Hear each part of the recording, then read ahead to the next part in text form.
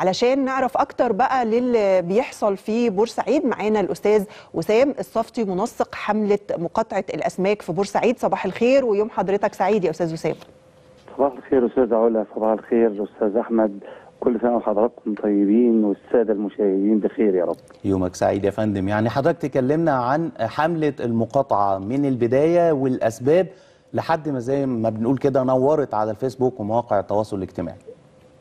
والله يا أستاذ أحمد إحنا يمكن آه، كنا شغالين على الحملة ديت ابتداء من بداية شهر رمضان. وده طبعا بسبب ارتفاع أسعار السمك اللي شاهدناها في السوق عندنا بطريقة باهظة جدا.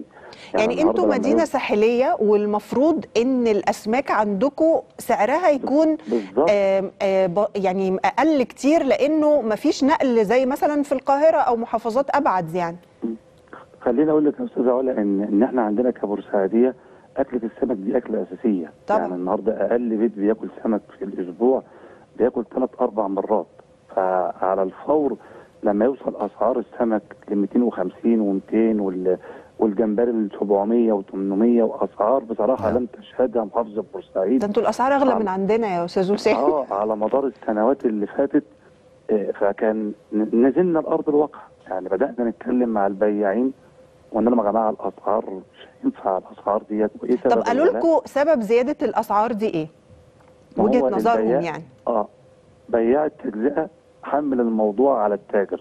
أنا بشتري غالي والتاجر بيجيب لي السمك غالي فبضطر أبيعه غالي وبحط هامش ربح لما رحنا اتكلمنا مع التاجر آه، حمل الغلاء على شماعه ال- السولار والعمالة والعلف والكلام ده كله. طب إحنا النهارده الدنيا هدت شوية.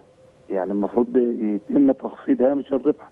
اتصدمنا يا أستاذ علا إن إحنا تلاقينا التجار ردوا علينا رد عنيف جدا. والله ده عرض وطلب. اللي عاوز ياكل ياكل واللي مش عاوز براحته.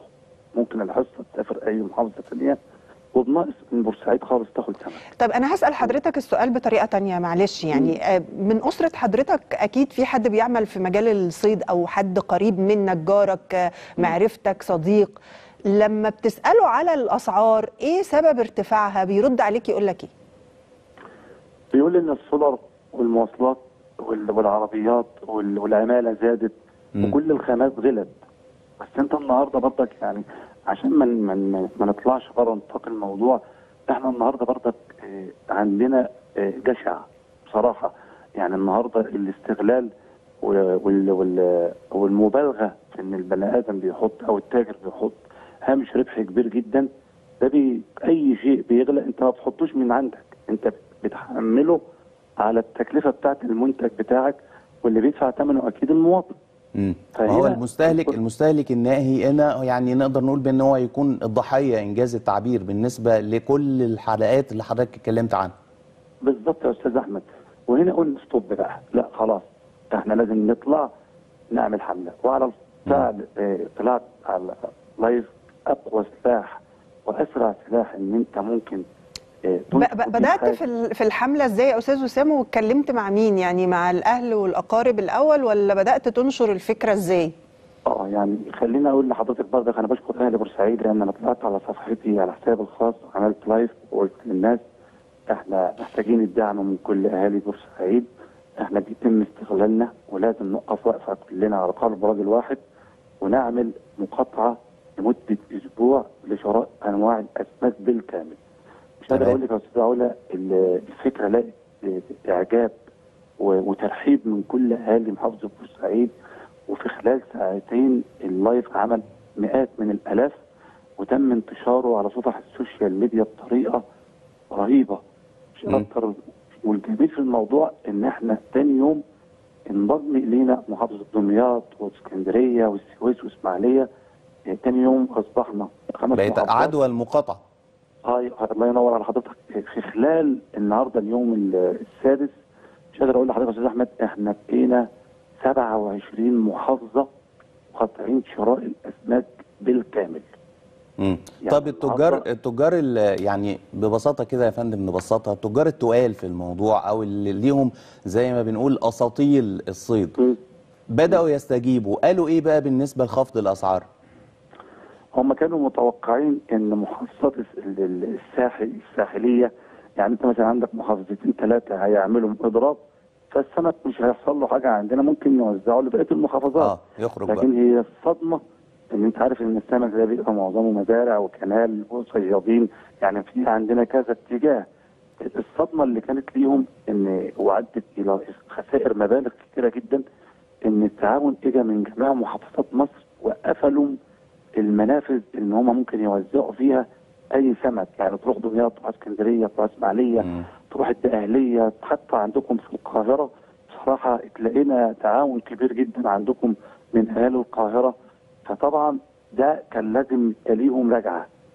السمك قاعد طيب عندنا هي يوم الفكرة بدأت بالسمك لكن الحديث دلوقتي عن باقي ال- السلع اللي برضو أسعارها مبالغ فيها والمفروض إن هي ما تكونش على السعر اللي هي عليه رأي حضرتك إيه؟ خليني أقول لحضرتك بس أقول لك إن النهارده آه، بفضل الله بعد نجاح حملة الأسماك والتراجع وإعادة النظر بعض تجار ومحتكرين الأسماك إحنا بالتواصل مع بقية المحافظات بدأنا ننسق حملات لجميع آه، ال- المنتجات اللي هيتم مقاطعتها تمام ومن خلال برنامج حضرتك أنا عاوز أنوه على حاجة. النهارده السبت أول يوم في مقاطعة شراء البيض على مستوى الجمهورية مم. تمام مع يعني بدأتوا إن. أنتوا تتوسعوا شوية في موضوع ال- المنتجات كدور يعني آه، إيجابي من المواطن إن هو عشان آه. يعني يواجه جشع قلة أو بعض التجار بالتأكيد يعني بنمتنع. عن التعميم. طيب آه، أستاذ وسام في جزئية هنا لو حضرتك تقول لنا هل مثلا بنسبة كام في المية استجابة من التجار في بورسعيد بخصوص السمك؟ آه، بالنسبة للتجار إحنا وصلنا لمرحلة 50 60% و... و... وإن شاء الله يمكن أقول حاجة هو المقاطعه كانت لمدة أسبوع واحد كان المفروض تنتهي غدا. بس إحنا طبعا آه، آه، ضغطنا أكتر ومدينا المقاطعة حتى أعياد الربيع في شم النسيم. آه دي هتفرق لينا- جدا معاهم. آه إحنا لينا حق مشروع إن إحنا لازم يتم الاستجابة ونوصل لحل آه، جذري. يعني لازم يبقى في تفاوض ما بين ال- المواطن والبائع بتاع التجزئة والتاجر حتى يصب في النهايه لمصلحة المواطن آه، من محدود الدخل. طب في بعض الأصوات يا أستاذ وسام بتقول إن الأسعار لم تنخفض بالقدر المناسب إلى الآن وكلها عبارات يعني ما بين ال 20 وال 30% ويمكن على وسائل التواصل الاجتماعي وفقط وما فيش حاجة على أرض الواقع. آه، بالفعل في بعض ال- الأنواع يعني إحنا النهارده عشان عندنا حضرتك عارفه طبعا إحنا داخلين على موسم الربيع ففي عندنا سمك البوري دوت بيتم استخدامه في التمليح عشان الفسيخ فطبعا لم تنخفض أسعاره لأنه قليل النهارده وعليه قابليه كتير من بعض بائع ال- الفسيخ. والشبار الأخضر اللي بورسعيد مشهورة بيه النهارده هو موسم بيقعد له من 20 ل 30 يوم. دول المنتجين اللي, التجار متمسكين بأسعارهم. حتى الآن. ده هيبقى الحل بالنسبة لحضراتكم بقى إن أنتوا يكون في مقاطعة الفسيخ. هو ده الحل بين والله يا أستاذ أحمد إحنا مع شم النسيم صعب آه، آه طبعاً. أحمد بينادي بمقاطعة حاجة صعبة قوي يعني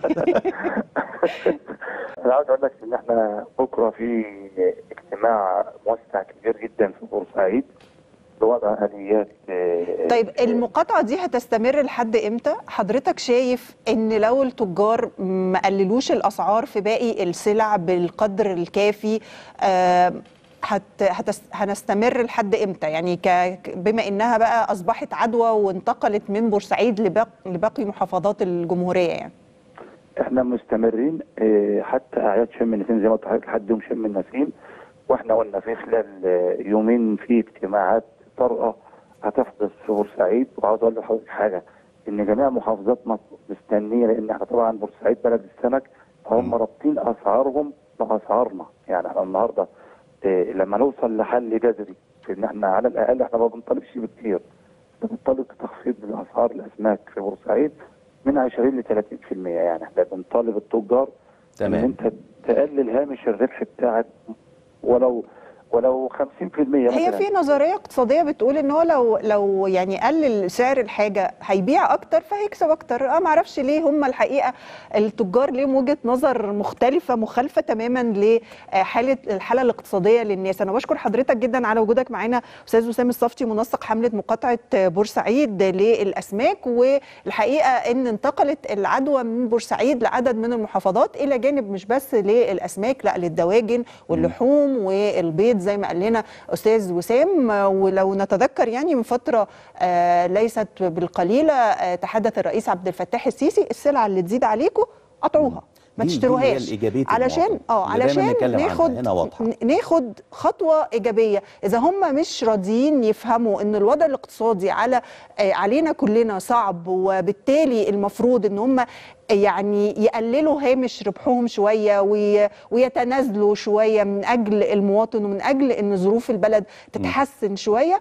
آه، يعني ما يلوموش بقى إلا نفسهم لما. السمك يقعد جنبهم آه يعني آه بالظبط زي ما قال كده خليها تعفن. ما هو هتعفن بالمنظر ده. وكمان جزء مهم جدا فكرة إن المحافظات التانية متفاعلة لأن هو فعلا زي ما الأستاذ وسام قال يعني هو ممكن التاجر يعول على إنه والله أنت مش هتشتريها طب أنا هوديها المحافظات التانية. فالمحافظات التانية كمان مقاطعة فخلاص السمك هيبوظ عنده. ولكن بالنسبة للتجار ودايما بنقول يعني البعض من اللي هم يعني يتفهم سعر سعر السمك يبقى غالي في المحافظات البعيدة عن المحافظات الساحلية. مفهومة فيها نقل بقى وفيها حوارات كتير يعني فيها. كذا إيد. لكن لكن أنت من من من الصيد على منافذ البيع. وفي بورسعيد واسكندرية والمناطق.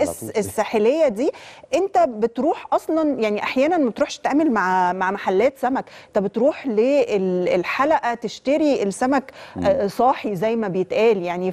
فهامش الربح المفروض يعني بسيط للغاية يعني. فالفكرة هنا إنه آه، بالراحة على. على بعضنا يعني. مش لازم كلنا نبقى بن بنضايق بعض بشكل ويكسب يكسب يا عم آه، هيكسب والله. يكسب. إحنا مش بعدين ده ما السمك موجود في البحر يعني هو هيكسب. هو مش ما ما عملوش آه حاجة على فكرة. بيكلفوا سولار وكل حاجة مفيش مشاكل بس يعني يكسب ولكن في الحنين زي ما بيقولوا. بس ما أنا ماليش دعوة إن شاء الله الفسيخ. آه، يعني آه، لو يعني قطعوه فهيبقى المناشده كانت منك مالناش دعوة. خلاص يلا.